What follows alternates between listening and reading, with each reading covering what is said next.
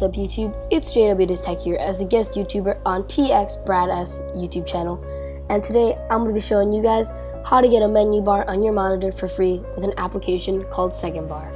What we're going to want to do is we're going to want to open up our preferred web browser and copy and paste this link. It'll be down in the description. As soon as the page loads, simply tap on the download Second Bar icon and your zip file will start downloading.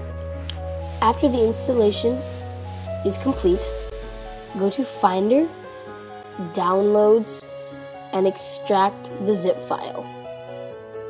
After the short wait, drag second bar into the applications folder and open it from there. Now let's switch over to our monitor screen for the review, review part of the tutorial. As you can now see, there is a menu bar nearly identical to the one on my main laptop.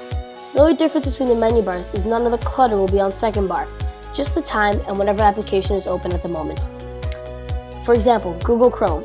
We'll notice a menu bar is present with all of Google Chrome's features, like viewing bookmarks, extensions, downloads, task, task manager, and everything else.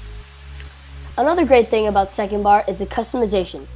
If we go up to the little down arrow and click on Preferences, we can change the opacity, make the bar draggable, and set shortcuts to open up preferences.